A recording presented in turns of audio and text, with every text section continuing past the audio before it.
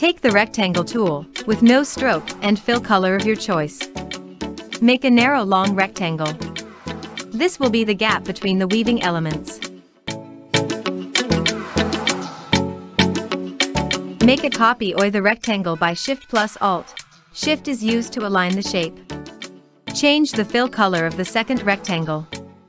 And drag the second rectangle to make it wider.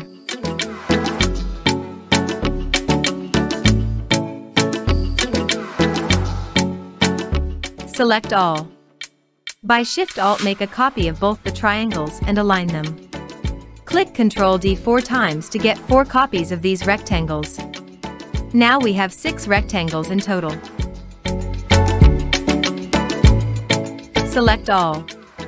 And click Ctrl plus C to get the copy, and then click Ctrl F to paste it in front.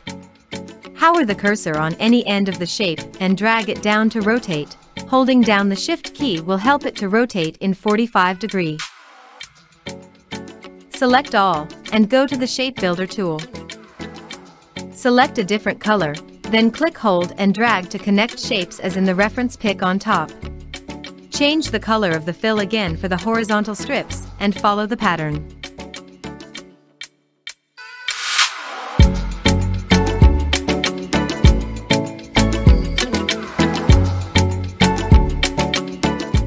Shape Builder tool still selected, hold, Shift plus Alt keys and drag along the area you want to delete. The quicker way of doing the same is to use the Magic Wand tool. First click on the brown shape then press and hold the Shift key and click the dark brown color. This will select both the light and dark brown color at once. Now press the Delete key.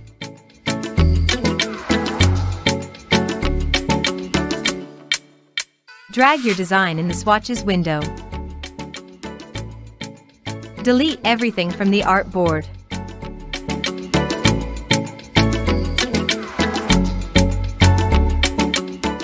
Double-click the swatch we just created to edit the pattern.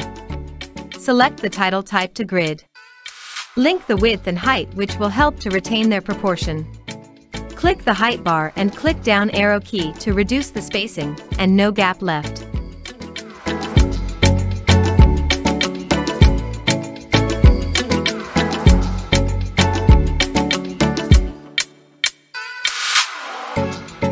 If you want to change the color, go to Magic Wand tool. Click all the blue shapes from the square in the center, and change the color. Now select the green shape, and change the color. Select all.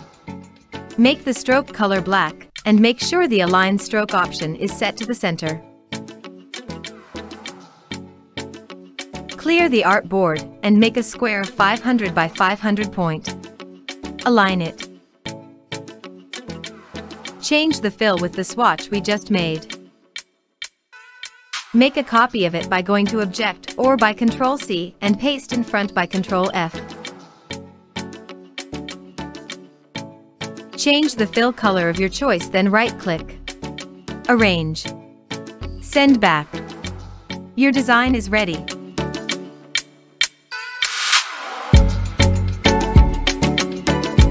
You can either scale or rotate it by Right-click and make changes.